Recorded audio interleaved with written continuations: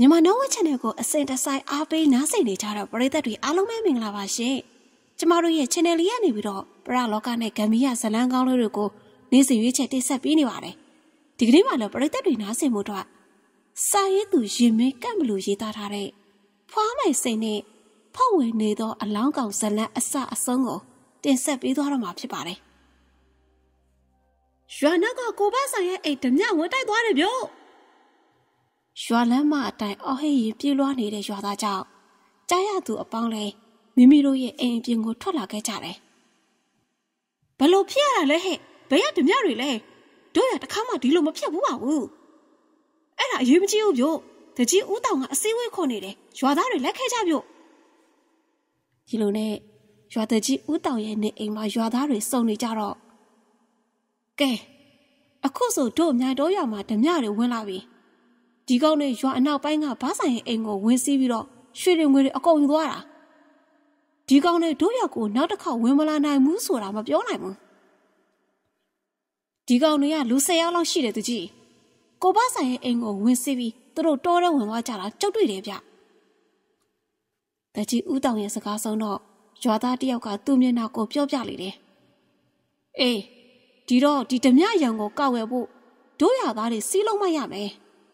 မင်းတို့စီကအကြံဉာဏ်နဲ့လိုချင်တယ်ကွာပြောကြပါအောင်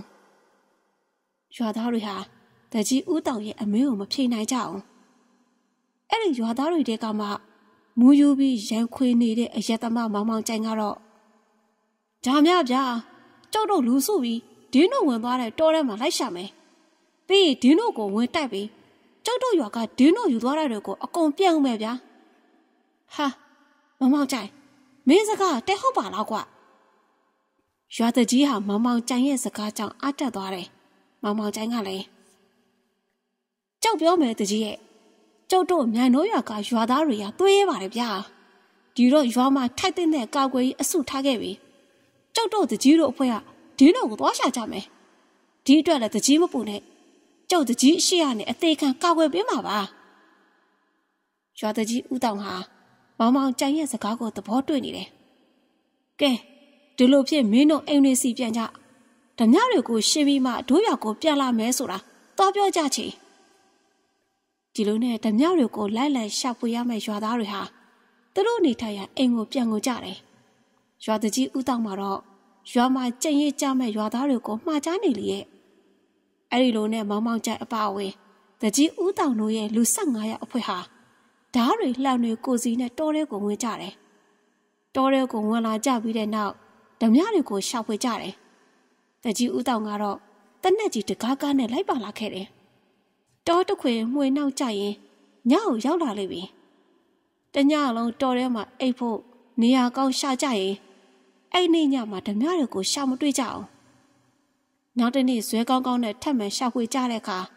တောင်တွေ62နေရာမှာဓမြတွေနဲ့ထိတ်ထိုက်တွေ့ကြတယ်။မောင်မောင်ကြိုက်ဟာ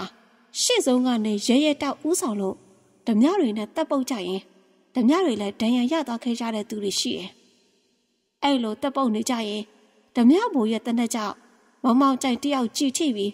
ချောင်းထဲကိုပြုတ်ကျသွားခဲ့တယ်။မောင်မောင်ကြိုင်ကျသွားတာမို့တကြီးကဓမြတွေကိုပုံမဲတော့တယ်။ဓမြတွေဘက်ကတိတ်ဆုံးသူများလာတဲ့အခါဓမြဘိုးလည်းထွက်ပြေးသွားလိတော့တယ်။အဲ့ဒီချိန်မောင်မောင်ကြိုင်တယောက်ချောင်းထဲကနေပြန်ပေါ်လာပြီးတကြီးတို့ရဲ့အနီးကိုရောက်လာတဲ့အခါမှာတော့ ဟာမောင်မောင်ကြိုင်မင်းမသိဘူးနော်ကျုံမသိပါဘူးဗျာကဲပါဒီကောင်လေးကိုဖမ်းကြဗျာတနက်တန်ရနဲ့ချောင်းထဲကျသွားတဲ့မောင်မောင်ကြိုင်ဟာဘာမှမဖြစ်ခဲ့တဲ့အတိုင်းမို့တကြီးတို့အံ့ဩနေကြတယ်ဒါပေမဲ့လည်းဓမြတွေကိုဖမ်းခေါ်ရအောင်မမို့ဘာမှဆက်မပြောကြတော့ဘူးရွာစီပြောင်းလာကြတော့ဓမြတွေကိုရဲရဲတောက်တိုက်ခိုက်ခဲ့တဲ့မောင်မောင်ကြိုင်ရဲ့တရင်ကတရွာလုံးကိုပြည့်နေနေတော့တယ် အမေဟေးငါသားပြောလေကျုပ်ကိုအမဲသားချက်ပေးစမ်းပါဗျာအမဲသားမစားရတာကြပြီဗျအေးအေးအမေချက်ပေးပါမယ်မောင်မောင်ကြိုက်ဟာမိကေကြီးနဲ့အတူတူနေထိုင်နေဓမြောက်တွေဖန်စီပြီးပြန်လာချိန်ကစလို့မောင်မောင်ကြိုက်အရက်မတောက်တော့တာကြောင့်မိကေကြီးတော်မြင့်ဟာตาအတွက်ဝမ်းသာနေရှာတယ်ဒါကြောင့်လဲသူစားချင်တာမှန်သမျှကိုမငြင်းမညူပဲကျွေးမွေးလေတယ် မောင်မောင်ကြိုင်တယောက်လက်တော့မှအလုတ်လေးသွားလို့လိုက်မိခင်ကြီးချက်သမျှအဝစားလိုက်တဲ့နေထိုင်ကြောင်းကိုတကြီးဦးတောင်တိလီတော့ဝမ်းသာနေရှာတယ်ဒီကောင်လေးကလူတော်လေးဟာဆိုပြီးချီးမွမ်းရှာတယ်တညအချိန်ကညတကောင်ကြော့လေပြီအဲ့ဒီအချိန်ဒေါသတကြီးချိန်လန်းတွေနဲ့ရှောင်လန်းလာရင်မမောင်ကြိုင်ရဲ့ချက်အပြစ်မှာခြေစုံရက်လိုက်တဲ့ခြေသက်ပိုင်ရှိဟာဟေးအိမ်ထဲကအကောင်ထွက်ခဲ့ ခွေးမသားအခုထွက်ခဲ့စမ်းအဲ့ဒီကအိမ်အတွင်းထဲမှာရှိတဲ့မောင်မောင်ကြိုင်ကထွက်လာပြီးချန်ပီယံမှာရှိနေတဲ့သူကိုကြည့်လိုက်တော့ချန်ပီယံကလူကခါကြီးထောက်ပြီးခွေးမသားငါနေရာမှာနေပြီးဇင်းနေတယ်ပေါ့လေမောင်မောင်ကြိုင်ဟာအဲ့ဒီလူရဲ့စကားကြောင့်မျက်နှာကြီးပြုံးနေလေတယ်ချန်အပြင်မှာရှိနေတဲ့လူကတော့ကြိတ်မနိုင်ခဲမရဖြစ်နေရှာတယ်အဲ့ဒီလိုနဲ့ချန်အပြင်ကလူဟာ အားရအောင်ဆဲဆိုပြီးမိုးလင်းကနေအချိန်မှလာရအရက်စီကိုပြန်သွားခဲ့လေတော့တယ်အဲ့ဒီအဖြစ်အပျက်ကိုမောင်မောင်ကြိုင်ရဲ့မိခင်ကြီးမသိသလိုဘသူမှမကြားသိလေခြင်းကလည်းအံ့ဩဖွယ်ရပဲဒီလိုနဲ့အချိန်တွေကတဖြည်းဖြည်းကုန်လွန်လာခဲ့တယ်တရက်မှာတော့ဒေါ်မြင့်တယောက်ဖုန်ကြီးကျောင်းစီစွန့်ကပ်ပြီးအပြန်လမ်းမှာအမေအမေဆိုတဲ့ခေါ်တဲ့ကြောင့်အနောက်ကိုလှည့်ကြည့်တော့ဘာမှမတွေ့ရလို့စိတ်ထဲမှာဘဝင်မကျဖြစ်သွားခဲ့တယ် အတန်ကတားဖြစ်သူမောင်မောင်ကျန်းရဲ့အတန်ဆိုတော့ကိုဒေါ်မြင့်သိတယ်ဒါပေမဲ့တားဖြစ်သူကအခုချိန်ဆိုလက်တော့မှပဲရှိလိမ့်မှာဖြစ်တာကြောင့်ဒေါ်မြင့်သူနားကြမားတာပါလို့ပဲယူဆလိတော့တယ်နောက်ရများမှလည်းမကြခဏဆိုသလိုအဲ့ဒီခေါ်တန်ကိုဒေါ်မြင့်ကြားလာရတဲ့အခါစိတ်အတွင်းထဲမှာတန်နေရဖြစ်လာတော့တယ်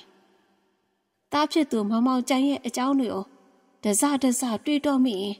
ဒေါ်မြင့်တယောက်တားဖြစ်သူအပေါ်ပို့ပြီးတန်နေရဖြစ်လာတော့တယ်။ ဘာကြောင့်လဲဆိုတော့မောင်မောင်ကျန်ကအရင်ကအရက်ကိုပဲဦးစားပေးပြီးထမင်းဟင်းအစားနေတယ်။အခုမောင်မောင်ကျန်ကတော့အရက်ကိုမတော့ဘူး။ထမင်းဆိုင်စင်တူးချက်တမနက်တာခံတယ်။ဒါအပြင်သူမရဲ့အပေါ်မှာလဲမိခင်ဆိုပြီးချွတ်ချွတ်နဲ့နဲ့မရှိပဲဘာတိဘာသာနဲ့နေနေခဲ့တယ်။ဒေါ်မြင့်ဟာအဲ့ဒီအကြောင်းစုံကိုတွေးတော့ရင်အဖြေရှောင်မရတဲ့အဆုံးမှာတော့တကြီးဦးတောင်ထောင်ကိုရောက်လာခဲ့တယ်။ တကြီးဦးတောင်ကိုလည်းသူမဖြစ်နေတဲ့အကြောင်းအရာတွေကိုပြောပြပြီးတဲ့အခါမှာတော့อืมကျုပ်ကဒီကောင်လေးပြောင်းလဲလာပြီဆိုပြီးဝမ်းသာမိနေတာမမြင့်ရဲ့အခုခမပြောပုံရဆိုရင်တော့ကျုပ်လည်းမသိငါအောင်ဘာလို့ဆိုလွန်ခဲ့တဲ့၃နှစ်လောက်ကကျုပ်တို့နဲ့ခမသားဓမြလိုက်ဖမ်းတာသိတယ်မဟုတ်လားကျုပ်သိရင်လေอืมအဲ့ဒီမှာကျုပ်ပြောချင်တာကခမည်းသားကန်ကြီးပုံပေါ့ဗျာ ကျုပ်တို့ကဓမြတွေနဲ့တပ်ပုတ်နေတဲ့အချိန်မှာဓမြဘွားသူ့တနက်နဲ့လှမ်းပြတာအားလုံးအမြင်ပဲမမောင်ကြိုင်တယောက်သွားပြီဆိုပြီးကျုပ်တို့ထင်နေခဲ့တာဗျဘယ်ဟုတ်မလဲဗျာဒီကောင်ကအသက်ပြင်းသားဗျကြည်မှန်ပြီးရေထဲကြိုက်ရကနေပြန်ပေါ်လာခဲ့တာပဲတကယ်ကောင်မျိုးတကြီးဦးတောင်ပြောလေတော့ဒေါ်မြင့်အတွေ့များရပါတော့တယ်။တကြီးကျုပ်တော့လေအခုရှိနေတာ ကျုပ်သားမဟုတ်ရဲ့လားလို့တော့။အော်မမြင့်ရဲ့ခမည်းသားမဟုတ်တော့ဘယ်သူတော့သူကခမည်းသားမခမည်းသားပါဗျာ။အဲ့ဒါလို့မဟုတ်ဘူးတကြီးရဲ့ကျုပ်ပြောချင်တာကကျုပ်သားရဲ့ကိုယ်ရဲ့ဖုတ်တော့ပါလို့ဝင်နေသလားလို့ခမည်းဗျာထင်းရပါပြီလေ။ကျုပ်ကအမေပါတကြီးရဲ့ကျုပ်သားလိမ့်မာတာကျုပ်သဘောကျတာပေါ့ဒါပေမဲ့လို့ ကျုပ်သားလေးမဟုတ်ပဲဖြစ်နေမှာကိုကျုပ်ကစိုးရိမ်တာပါတော့ကဲဒီတော့ခမဘာလုပ်ချင်တာလဲပြောပြကျုပ်ကတော့အပမီတာဘာညာကုသနိုင်တဲ့ဆရာကောင်းတယောက်တော့ရှာချင်တယ်တော့ဆရာကလည်းတော်အောင်မမဟုတ်ရင်ကျုပ်ကမိစားနဲ့တို့သလိုဖြစ်မှာစိုးရသေးတယ်อืมဒါဆိုကျုပ်သေးချာစုံစမ်းပေးပါမယ်။ကျုပ်စုံစမ်းပြီးရင်ခမရကိုပြောမယ်ဗျာ။နော်။ဟုတ်ကဲ့ပါတော့။ တကြီးကိုလည်းကျုပ်ကျေးဇူးတင်ပါတယ်။ရပါတယ်ဗျာရပါတယ်။ဒေါ်မြင့်တယောက်တကြီးဦးတောင်ကိုတားဖြစ်သူအကြောင်းတွေပြောပြပြီးပယောကဆရာရှာခိုင်းတော့တယ်။ဒီနေ့မှာတော့မမြင့်ရေမမြင့်ကျောက်ရှိတဲ့တကြီးရေဒီမှာတော့ဒေါ်မြင့်တကြီးဦးတောင်ကိုမြင်လေတော့သူထန်နေတဲ့ကိုပစ္စည်းကိုခေါ်လိုက်တယ်။ခမရသားမောင်မောင်ကြိုင်ဘဲသွားတော့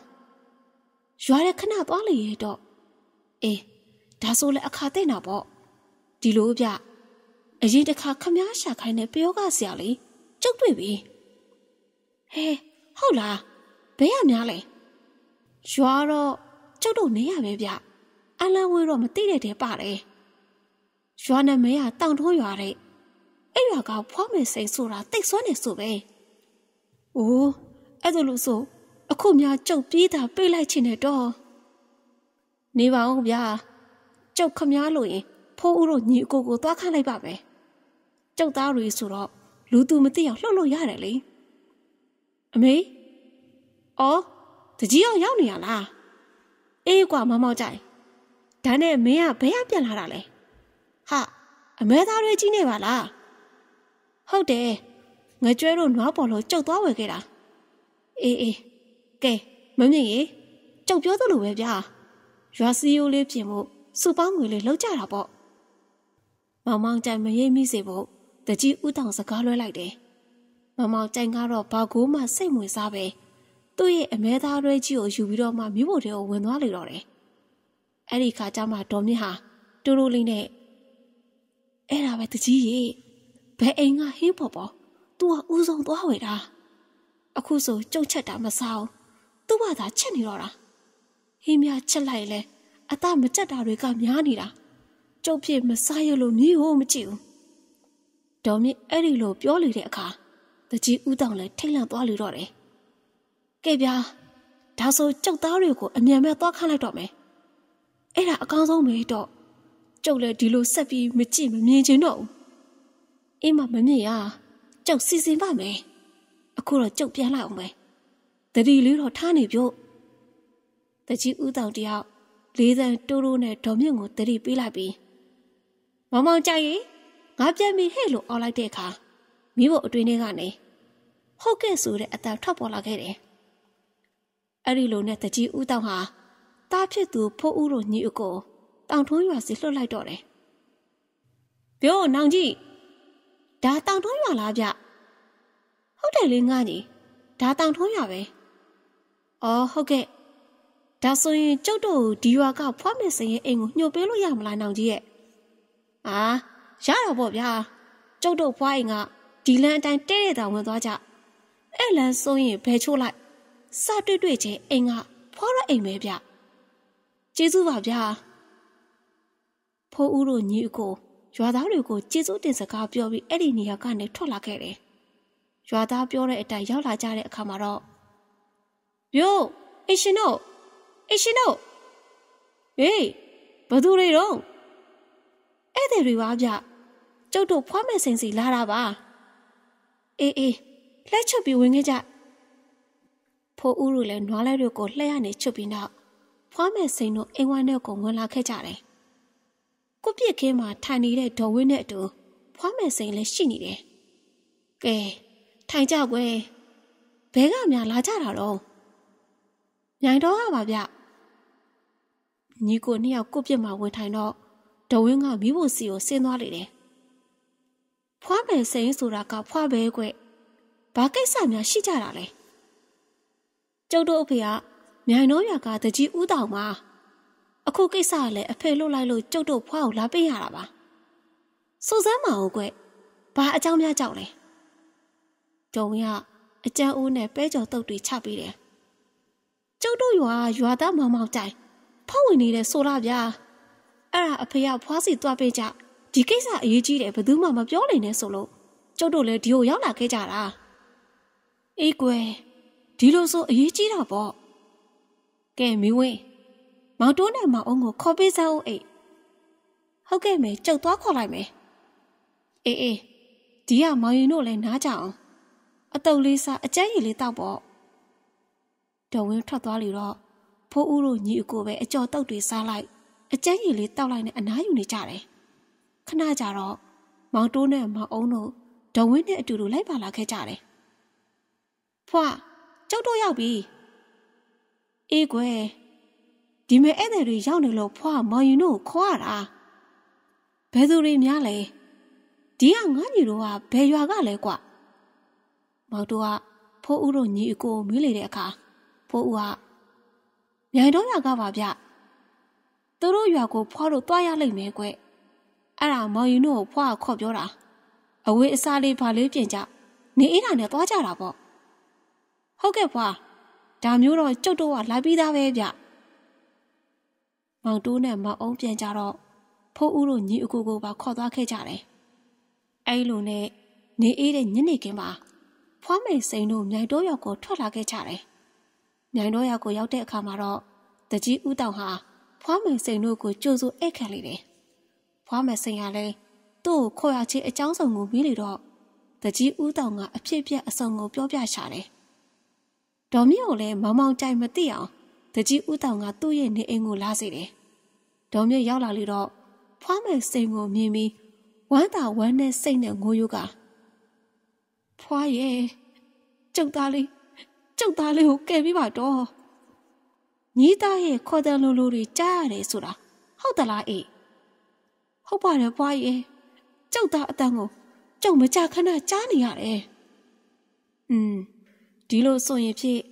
ညီသားကိုတော့ဖွာကယ်ပေးလို့မရတော့ဘူးအခုဖြစ်နေတဲ့ပြဿနာကိုပဲ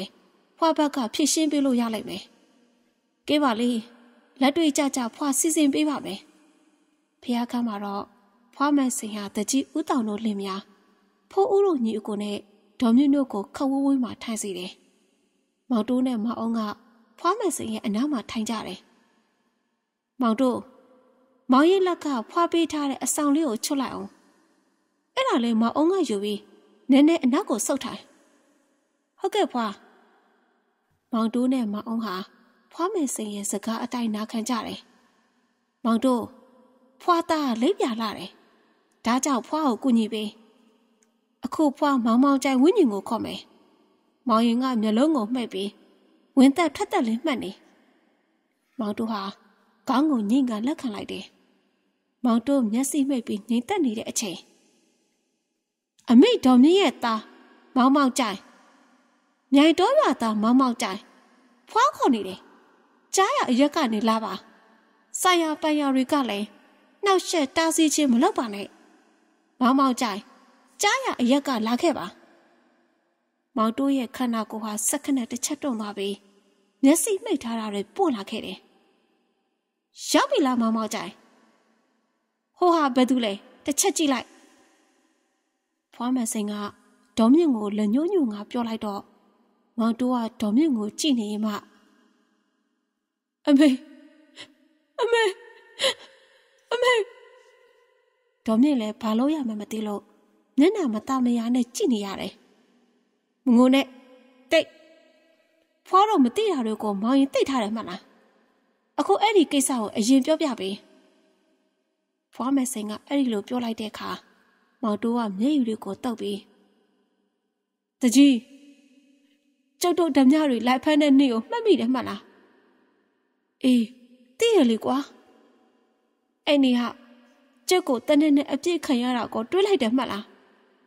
အေးတွေးလိုက်တယ်လေကျုပ်ကအဲ့ကလေးကသိနေပြီကျုပ်တည်တော့အဲ့တော်တွေကကောင်ကကျုပ်ကိုယ်တွေဝင်ပြီးခမရတို့နဲ့ရွာပြန်လိုက်သွားတာကျုံမှာတော်တွေကကောင်တွေနှိမ့်ဆက်သမျှခံရကျုပ်အိမ်ကိုပြန်မရနဲ့အတော့ဒုက္ခရောက်နေရတာကျုပ်အဲ့မှာနေတာကြတော့အထက်ကပုံကိုကြီးတွေကိုခွင့်တောင်းပြီးရွာကိုပြည့်မြတ်လာတာဒါပေမဲ့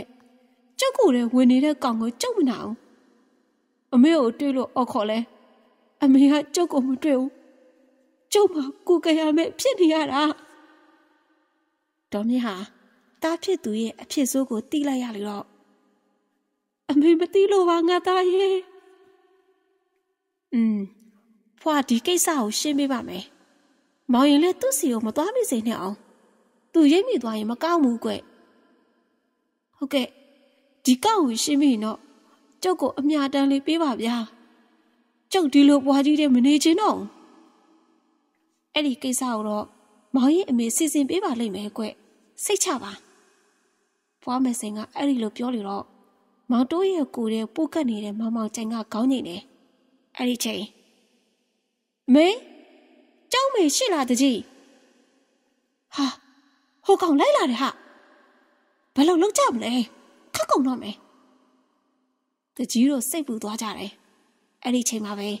မောင်တိုးရဲ့ကိုယ်ထဲဝင်ပူးနေတဲ့မောင်မောင်ကြိုင်ကဒီကောင်နဲ့ကျုပ်ဒီနေ့တိတ်ပြီဆိုပြီးဒေါသတကြီးနဲ့အိမ်ပေါ်ထက်ကနေပြေးဆင်းသွားတယ်ဟာဖွာလောက်ပါအောင်ဟာဒုက္ခပဲမောင်အုံးနဲ့တကြီးဦးတောင်တို့ထိတ်လန့်သွားခဲ့ကြတယ်မောင်တို့ဟာအောက်ထပ်ကိုရောက်တော့မောင်မောင်ကြိုက်ကိုဒေါသတကြီးနဲ့ကြည့်လိုက်တယ်မောင်မောင်ကြိုင်ကလည်း အော်အဖွားကြီးသူ့သားကိုတော့ရှာတွေ့နေပြီပေါ့ဒင်းကိုတခါတည်းတတ်လိုက်ရမှာမောင်တိုးကလည်းဒေါသတကြီးနဲ့မမောင်ကြိုက်စီကိုပြေးဝင်ကလုံးတက်တော့တယ်သူတပြန်ကိုတပြန်လုံးထွေးတက်ပုတ်နေကြတဲ့အချိန်ဖွားမယ်စိန်တို့ဟာအိမ်အောက်ထပ်ကိုရောက်လာခဲ့ကြပြီဖွားမယ်စိန်ကအဖြစ်ပြက်ကိုကြည့်နေရင်သူ့ရဲ့တောင်ဝင်းကိုစောင့်ချလာပြီဟဲ့အကောင်တွေ နင်တို့ရက်မလားနင်တို့အသက်ထက်သေးချင်ကြသလားပြောစမ်းဖွားမယ်စိန်ရဲ့အော်စာကြောင့်မောင်တိုးနဲ့မောင်မောင်ကြိုင်ကချက်ချက်ရက်တန့်သွားကြတယ်ဟိုကောင်နေရသူ့ကိုယ်တည်းလည်းအယောင်ဆောင်ဝင်နေသေးတယ်မညာမတာရမ်းဆောင်နေတာနေအောင်ငါဒဏ်ပေးလိုက်ရမလားဖွားမစင်ရဲ့စကားကြောင့်မောင်မောင်ကျန်ကဖွားမစင်ကိုကြည့်တယ်ဘာရဲ့ကြောင့်မှမသိကြည့်နေရင်နဲ့ပဲဒူးထောက်ထိုင်ကြက ကျုပ်ကျုပ်ကိုခွတ်လို့ပါဗျာကျုပ်ကျုပ်သူ့ကိုယ်နဲ့နေတဲ့တလျှောက်လုံးဘသူ့အပေါ်မှာမကောင်းတာမလုပ်ပါဘူးဗျာကျုပ်ကိုခွတ်လို့ပေးပါအေးနေအခုဝင်ထားတဲ့ကိုကဘယ်အခြေအနေရှိပြီလဲအယိုးအယိုးပဲရှိပါတော့တယ်အဲ့ဒီခါဖွားမစင်ကငိုရှိုက်နေတဲ့ဒေါ်မြင့်ကိုကြည့်ပြီးကဲဒီလိုဖြစ်မောင်မောင်ကြိုင်ရဲ့အလောင်းအတွက်အခေါင်းပြင်ဆင်ကြပြီးတော့ နင့်နာမည်ဘသူကျုပ်ကိုတရေငပြူးလို့ခေါ်ကြပါတယ်อืมတရေငပြူးမောင်ရင်ကအလောင်းကိုအခေါင်းနဲ့တေချာထည့်ပေးပြီးမှဒီခန္ဓာကိုယ်ကထွက်သွားပြီတော့အကြောင်းအရင်းတွေကဖြစ်ပျက်ပြီးပြီဘသူဘသူမှလည်းအပြစ်ဆိုမရဘူးဒီတော့မောင်ရင်တို့နှစ်ယောက်လဲတယောက်နဲ့တယောက်မတိုက်ခိုက်ကြနဲ့တော့ကြားကြသလားဟဲ့အဲ့ဒီလိုပြောလိုက်တဲ့အခါ တရေငပြူးနဲ့မောင်မောင်ကြိုင်တို့သဘောတူကြတယ်ဒီလိုနဲ့မောင်မောင်ကြိုင်ဟာမောင်တိုးရဲ့ခန္ဓာကိုအတွင်းထဲကနေထွက်သွားပြီးတရေငပြူးကလည်းမောင်မောင်ကြိုင်ရဲ့ခန္ဓာကိုအခေါင်းတွင်းနေရာချဖို့အချိန်စောင့်ရတယ်။အဲ့ဒီကတကြီးဦးတောင်တို့လူစုဟာအလုရှုပ်သွားခဲ့ကြရတယ်။ရွာထဲမှာလည်းမောင်မောင်ကြိုင်ရဲ့အာသူဘအကြောင်းသိသွားကြပြီးလူတွေစုဝေးနေကြတယ်။တရေငပြူကတော့မောင်မောင်ကြိုင်ရဲ့ခန္ဓာကိုယ်ကြီးကို အခေါင်းတွင်းထဲမှာဝင်လဲစီပြီးနောက်ထွက်ခွာသွားတဲ့အခါမောင်မောင်ကြိုင်ရဲ့အလောင်းကတစ်ကာလာကြာမြင့်ပြီဖြစ်လို့အယိုးသာကျက်ရှိနေတယ်။ဒေါမြက်လည်းတာအာသူဘအတွက်ပြည့်စင်ပေးရှာတယ်အလောင်းကိုအဲ့ဒီညောင်ရင်းချင်းပဲတင်းကျန်းစီကိုပို့ပြီးတချို့ပြစ်ကြရတယ်။နောက်ရက်မှာတော့ဖုန်ကြီးတွေကိုပင့်ဖိတ်ကမောင်မောင်ကြိုင်အတွက်ကုသူပြူအမျှဝေကြတယ်။အမျှဝေတဲ့အခါမှာလဲတရေငပြူးကိုပါအမျှတန်းပေးဝေကြလေတယ်။ဖွားမယ်စိန်တို့ကတော့ အဲ့ဒီမနေ့ပဲရွာစီကိုပြန်လာခဲ့ကြပြီ။တရေငပြူးနဲ့မောင်မောင်ကြိုင်ရဲ့အကြောင်းကတော့မြန်တို့ရွာတင်မကတောင်ထုံးရွာမှာပါပြည့်နေလေတော့တယ်။မြန်တို့ရွာမှာလည်းတရေငပြူးနဲ့မောင်မောင်ကြိုင်တို့ပျောက်ခဲသွားခဲ့ကြပါပြီပရိသတ်များရှင့်ဖွားမယ်စိန်နဲ့ဖောက်ဝင်နေသောအလောင်းကောင်ဇလန်းလေးကတော့ဒီလောက်ပါပဲနော်နားဆင်အားပေးခဲ့ကြတဲ့ပရိသတ်တွေတူဦးချင်းစီကိုကျေးဇူးအထူးပဲသိရှိသလိုစာရေးသူရင်မကတ်မလို့လဲ ကျေးဇူးအထူးပဲသိရှိပါတယ်ရှင့်ဒီဇလန်းလေးကိုတင်ဆက်ပေးခဲ့တဲ့သူကတော့ကျမတကူးမိပဲဖြစ်ပါတယ်ပရိသတ်များအားလုံးပဲကံကောင်းခြင်းပျော်ရွှင်ခြင်းကျမ်းမာခြင်းတွေကိုအစဉ်ထာဝရပိုင်ဆိုင်နိုင်ကြပါစေရှင်။